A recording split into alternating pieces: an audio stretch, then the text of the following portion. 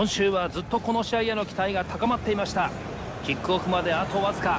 リーグ戦へようこそ。実況の西岡明彦です。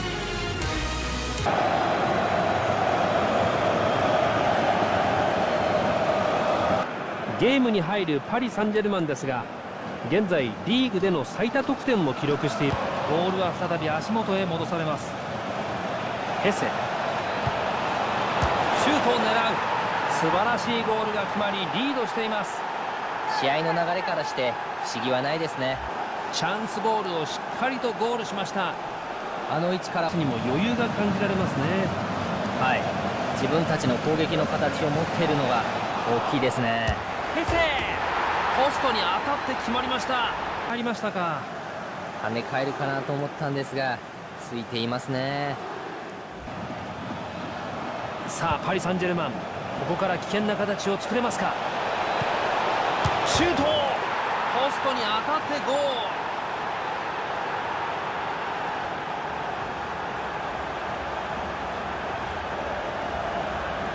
失点したチームはがっくりと肩を落としています。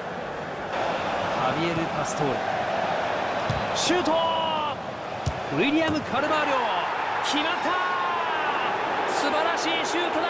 投げます相手の心を折るには十分な1点かもしれません。このゲームは一方的な展開となりました。はい。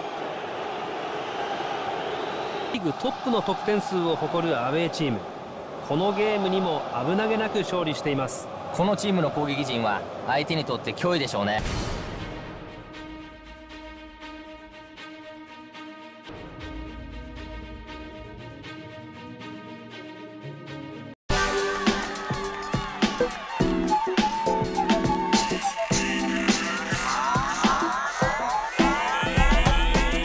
戦へようこそ西岡明彦です。果たしてどんな試合展開？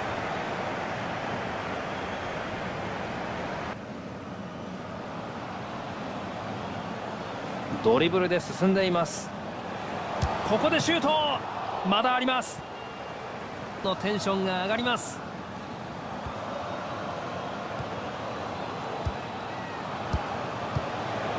リードを奪えるか？試合シュート数に試合の内容が現れていますね。チャンスを追うカルバーリョさあ突破しましたよ。このスルーパスは長すぎたか。キャッチはできません。ボールがこぼれています。深くえぐってからのクロス。決まった素晴らしいと思いましたが貪欲にゴールを狙っていますね。ドルラン・パボン。シュートだ素早く詰めたい。キーパーも上がります。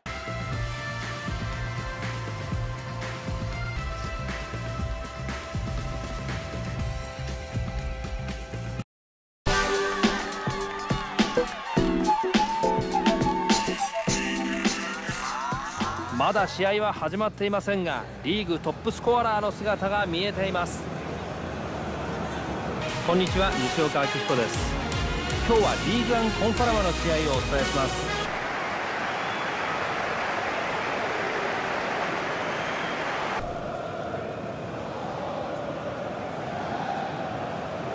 カルバーリさあスタジアムのテンションが上がります。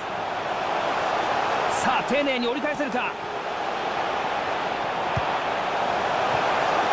素晴らしいボールだ。試合は始まったばかりですが早くも先制点が決まりました。立ち上がりをつ素晴らしいコースにシュートを決めました。